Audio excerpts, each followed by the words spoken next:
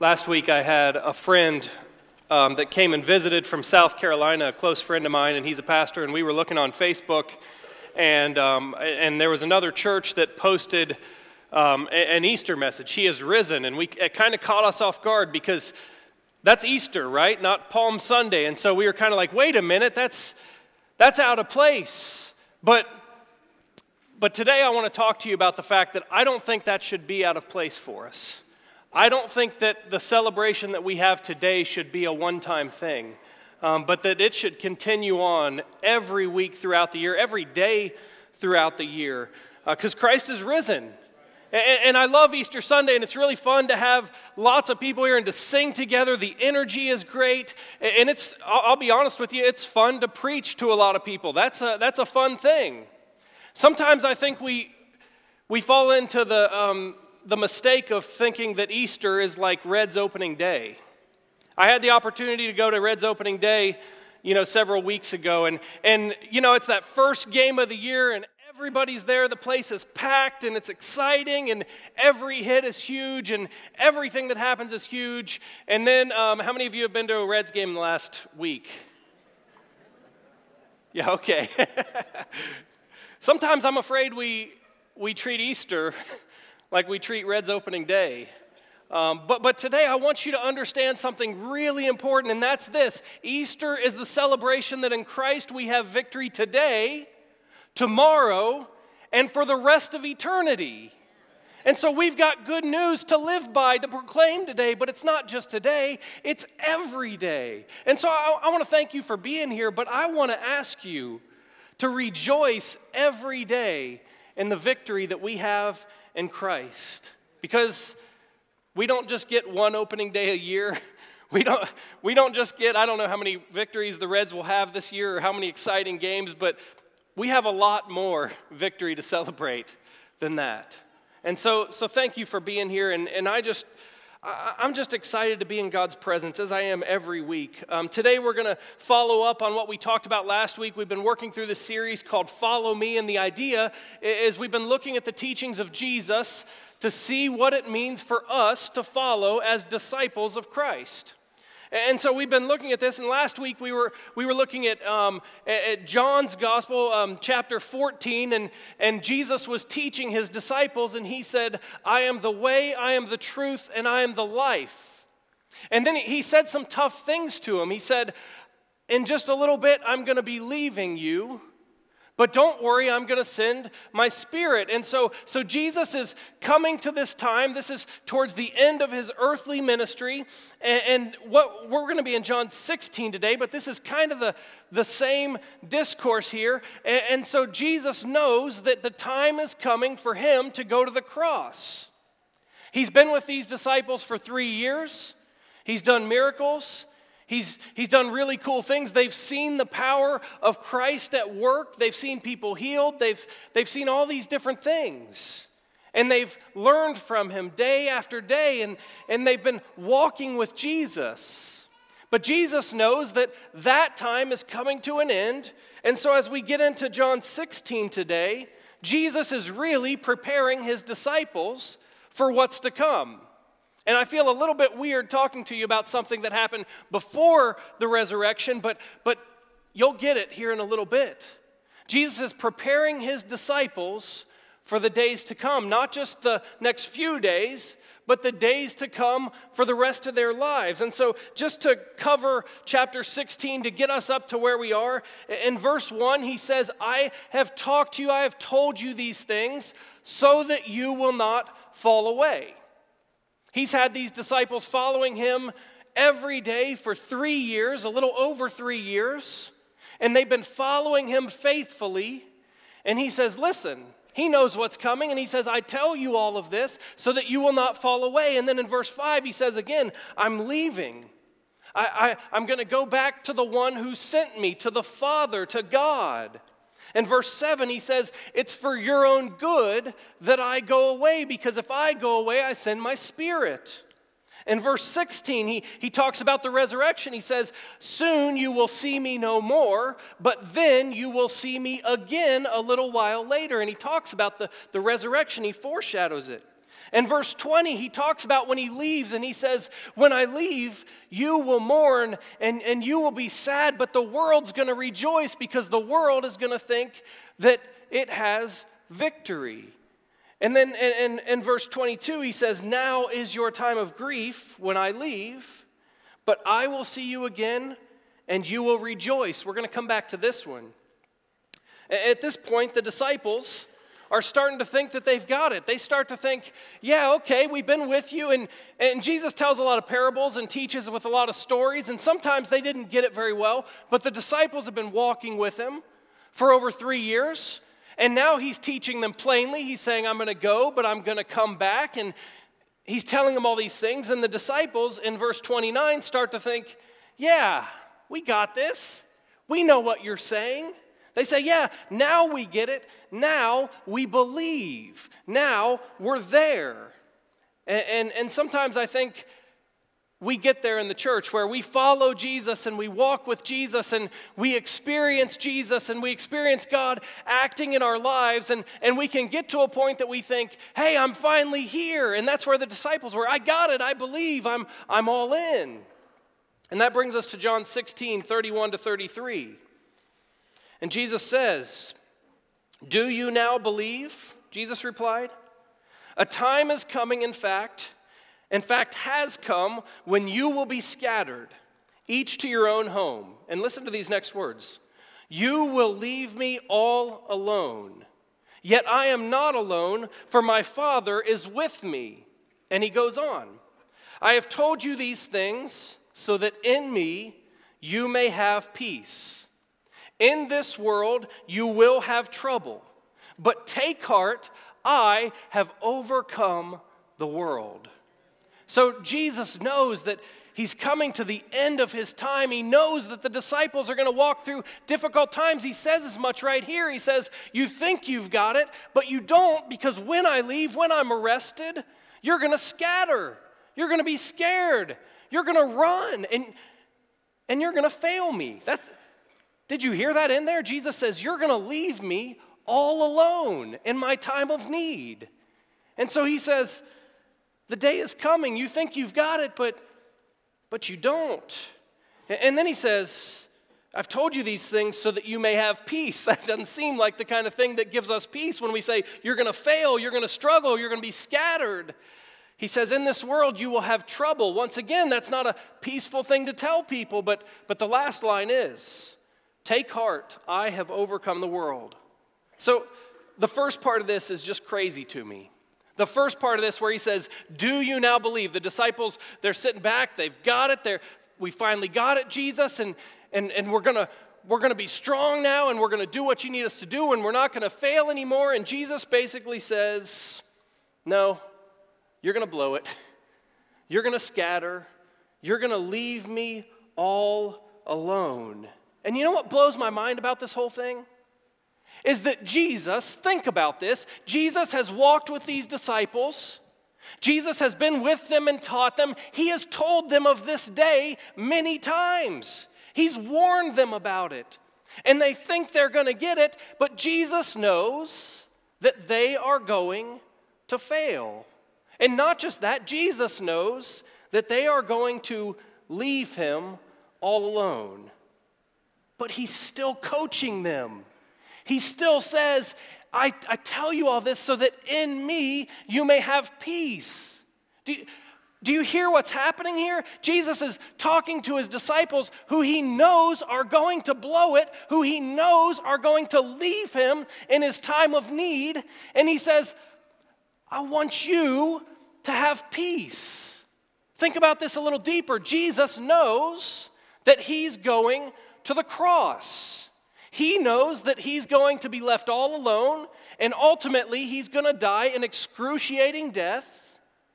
And he says, Have peace in me. Man, what does that tell us about Jesus? What does that tell you about Jesus? What kind of God? When people abandon him and when people turn their backs on him, when people leave them all alone, when people fail, what kind of God is still focused on helping them and giving them peace. What king do you know that has ever tolerated people turning their back on him? What king do you know that has ever been okay with his people failing him? But Jesus says, In me you will have peace. Take heart, for I have overcome the world. And so I ask, what kind of God, what kind of king does this? Let me tell you what kind of king. This is good news today. A king and a God that loves you and that is for you 100%. Jesus' whole mission was for us. Not so he could be some great king, not so he could get worldly recognition. Jesus' mission was for us to redeem us, to give us life. And so, even knowing that the disciples are going to blow it, even knowing that things are going to fall apart, even knowing he's headed to a cross, he says, I say all these things so that in me you may have peace. Man, it's easy for us to look at the disciples and say, How'd they not get this? How did they not see that Jesus was all about them? How did they not see the signs and the warnings? And it's easy for us to look at the disciples. We've talked a lot in this series about how the disciples got to walk with Jesus every day, and we don't physically see Jesus every day walking with us. And, so we look at the disciples and we're like, how can you blow this? But then I think about us. We know the outcome. We know what happened after Jesus was crucified. We know that the disciples left him, and we know that, that he died on a cross, but he was raised from the dead and gained victory. And so it's easy for us to say, man, how'd they not get it? But man, how do I not get it? How do I miss this? How do I come on Easter Sunday and get all pumped up and then experience troubles and difficulties and and forget. But I've got good news. Jesus died on the cross knowing that we, we would fail. Jesus died on the cross knowing that we would turn our backs on him. And Jesus died on the cross ultimately to give us victory. And so Jesus died and rose again victorious for the very people who were headed for defeat. That's good news today. That's really good news today. I mean, I grew up in the church. My dad was a pastor. I, I've been in the church my whole life, and, and I got to be honest with you, there have been plenty of times that, that I've blown it. There have been plenty of times where I lacked faith. There have been plenty of times where I got all excited about Jesus, and then something bad would happen, and all of a sudden, it was like I scattered. But Jesus, died, and rose again so that we could have victory. We will fall short. We will fail to be faithful sometimes, but Jesus offers us victory anyways. And the good news is this the church doesn't depend ultimately on us who are failures or, or even these disciples. The church doesn't ultimately depend on, on what we do, but on what God has done in Christ. And so we may fail, we may blow it, we may scatter at times. But today we celebrate victory. We celebrate that our God is greater. And so that moves to the second issue. When we talk about failing, when we talk about falling, the, the second thing that we hear in, is we, we see in verse 33, he says, I, I have told you these things so that in me you may have peace, but in this world you will have trouble. Take heart, I have overcome the world. Why is Jesus telling this to his disciples? If he knows they're going to fall away, if he knows they're going to blow it, if he, if he knows they're going to fail, why is he saying this? It's because he wants us to have peace. So he says, You may fail, you may fall away. And then he says, By the way, you're going to have trouble. It's not just that you're going to blow it, it's that you're going to be in some trouble. You're going to have a hard time. Listen, as a pastor, with, with a bunch of people here today, the easiest thing I could do would be to tell you that if you'll just believe in God and if you'll just raise your hand and say, I love Jesus, then everything in your life is going to be perfect. You're going to get rich. You're going to have the perfect family. You're going to, all your dreams are going to come true. And that's the easy thing. But the truth is this Jesus tells us that in this world, we will experience trouble. That's probably not a real popular message with you. Some of you are experiencing trouble right now. Some of you are feeling pain and hurt. Jesus says, In this world, you will experience trouble. Jesus knows what they're walking into. He knows that they're going to scatter. He knows that that Peter's going to deny him. He knows that all these things are going to happen. He knows that even after his resurrection and when he goes back and ascends to heaven, he knows that these disciples are going to lead the church and they're going to be persecuted and they're going to be hurt and they're, they're ultimately, some of them are going to die for what they believe. But Jesus doesn't tell them a lie, he tells them the truth that in this world you will have trouble. And so here we are on Easter Sunday, and we're all pumped up and we're singing, and yeah, get up and tell us all the good news, preacher. And so I, I got a lot of good news for you today, but, but I also have this. In this world, you will have trouble. I don't care how pumped up you are. I don't know how great your life is going today. But when you walk out of here tomorrow, the next day, I don't know when it'll be, but you will experience difficulty. It could be relational, it could be losing something that you love. It could be sickness. It could be things that are out of your control. In this world, you will experience trouble. The resurrection does not mean that we are less likely to experience pain. But look at the second half of this it makes us less vulnerable when we do experience pain. So, the resurrection, the cross, Jesus' death and his resurrection doesn't mean that everything's going to be perfect, but what it means is that we can take heart because Jesus has overcome the world. And so today, that's good news. Bad news, you will experience trouble. Good news, it won't defeat you if you live in Christ. That's good news today. And, and so Jesus says, In me, you can have peace. You may have trouble, but in me, you can have peace. He doesn't say automatically you're going to get peace. I just give you this gift and I walk away, and no matter what happens, you have peace. Jesus says, In me, you will have peace.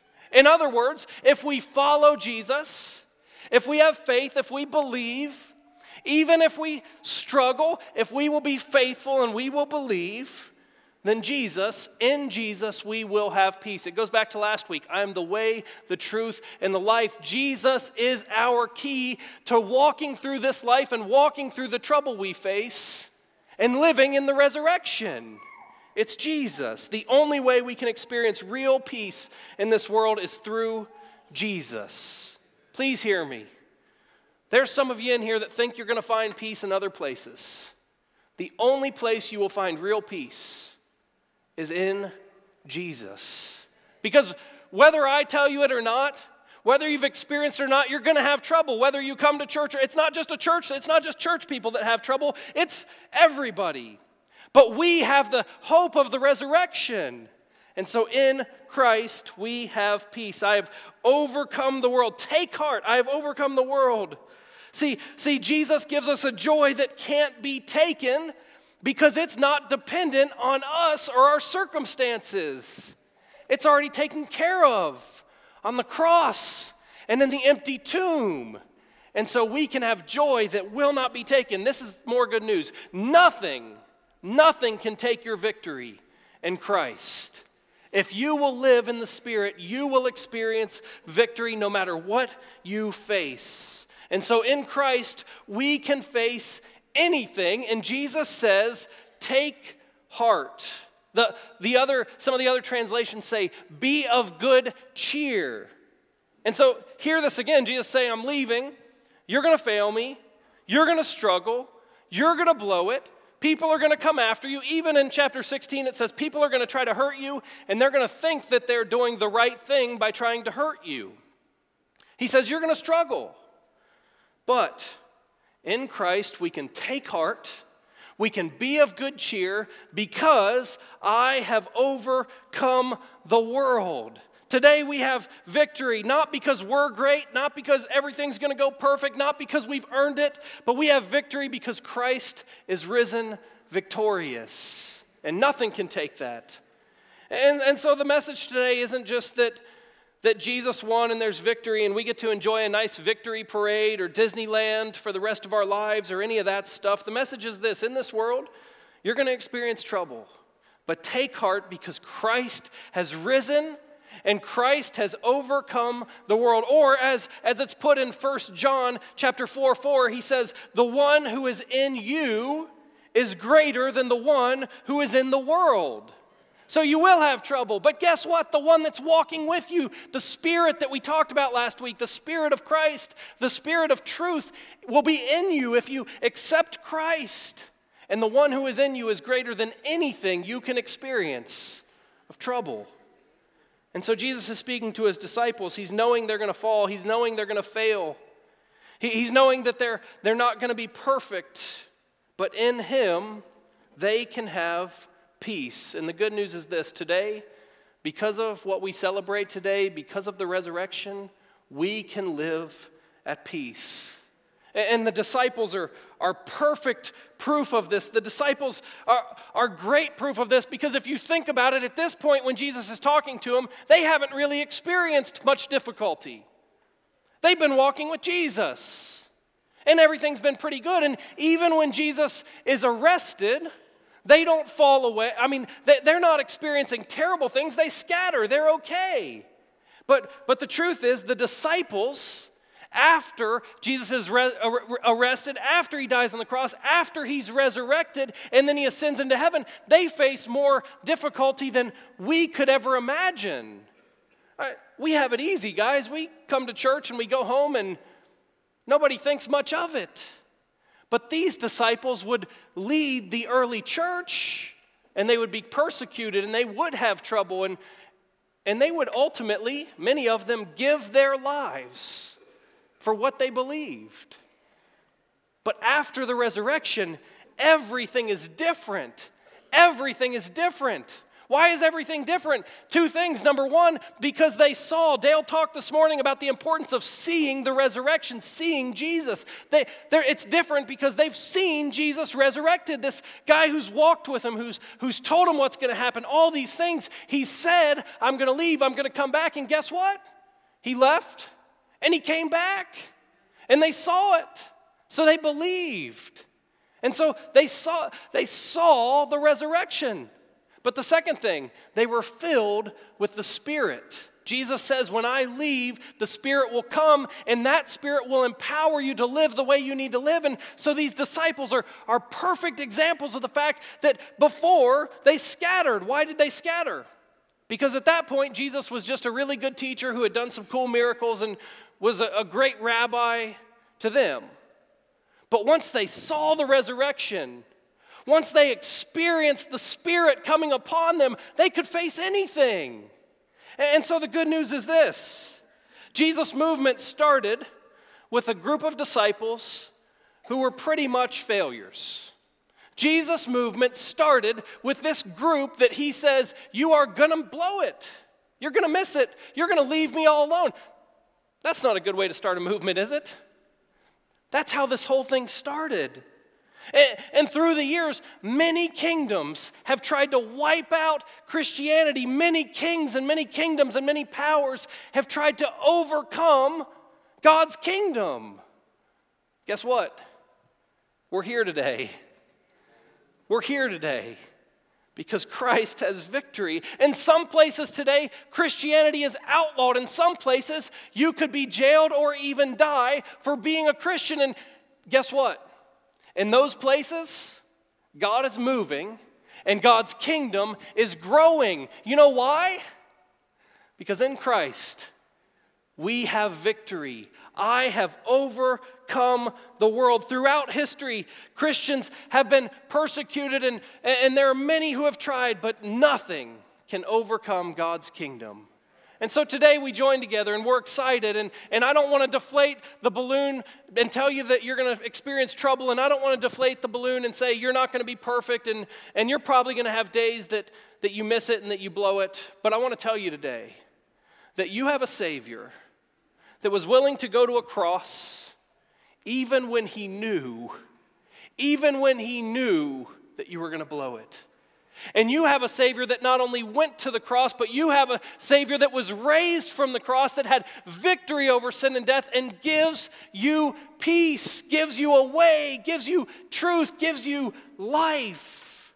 And so today we celebrate that Jesus has overcome the world. And today, I want to ask you to live a resurrected life. I want to ask you to, to give everything you have. I want to ask you to experience the resurrection today.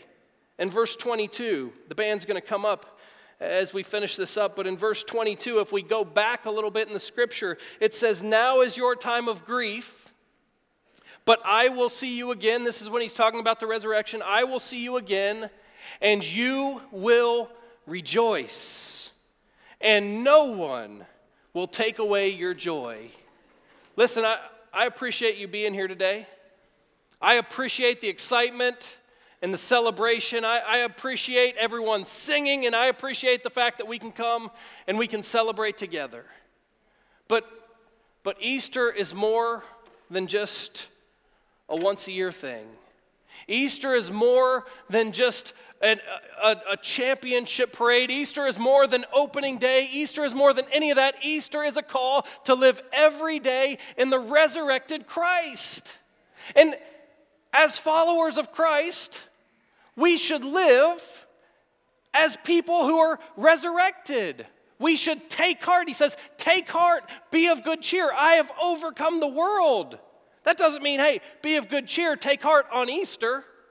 That means every day walk with Jesus and be of good cheer, even if you're going through a difficult time, even if you're having trouble at work, even if you are feeling a great loss, even if you're having relational trouble, even if you've got something going on in your life that feels like it's, it's taking over. Jesus says, Take heart, because I have overcome the world. Today, I want to invite you. I want to invite you to celebrate victory, but I want to invite you into a lifestyle of victory. I want to invite you to take heart and not let the things around you tear down your faith, but to walk every day for Jesus. And that happens by experiencing the resurrected Savior today, by seeing the resurrected Savior, and two, by being filled with the Spirit. And so we should live confidently in Christ.